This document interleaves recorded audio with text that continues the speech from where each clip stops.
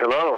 Hello. Uh, this is Adam Smith calling from NobelPrize.org, the website of the Nobel Prize in Stockholm. Is this Professor Allison? Yes, it is. Yes, it is. Sorry you guys had so much trouble me. Many, many congratulations on the award of the Nobel Prize. Oh, well, thank you. Thank you so much. It's, you might imagine it's a dream of a lifetime. I don't know what to say. I'm just stunned. How did the news actually reach you? Some some reporter called right at five thirty or so, some from Sweden, Sweden, and then my son called. Saw it on TV. Your son must be pretty happy too.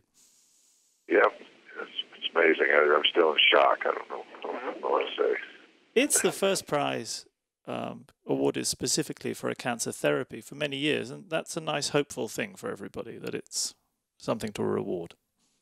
Yes, I think correct. Yeah, really hopeful, continuing to work to try to get get everything to work better in patients. You know? Hmm. I mean, you you didn't actually set out to find a cure for cancer. This was a this was basic research. No, no, I was trying. I was trying to understand how T cells worked. We in fact figured out this one thing about the you know, this negative regulator, I had this idea that if we just took that off, you know, maybe it would do a better job of, you know, killing cancer cells. And sure enough, it works. Well, yet again, an example of not knowing which way research is going to take you. Yep. You know, I always consider myself a basic scientist, but not, not anymore, I suppose.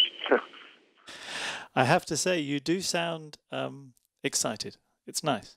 Well, speechless. It's kind of sinking in. Yeah, yeah. A bunch of friends found out and came to the to their hotel room. I'm at an immunotherapy conference in New York City. So, so people are joining you in your hotel room. I mean, yes, yes. You're assembling a party around you. Some people heard about it and been showing up. Spontaneous celebration going on, a little champagne.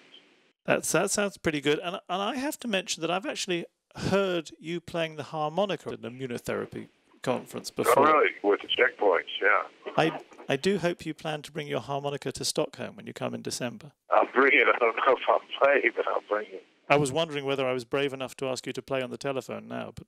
Oh, I don't have one with me now. I'm sorry. I think you should play. You're good at it, if I remember right. Yeah, well, thank you. It's a pleasure to speak to you, and we greatly look forward to welcoming you to Stockholm when you come. Okay, well, thank, thank, thank you so much. Congratulations okay. again. Thanks. Thank you so much. Bye bye.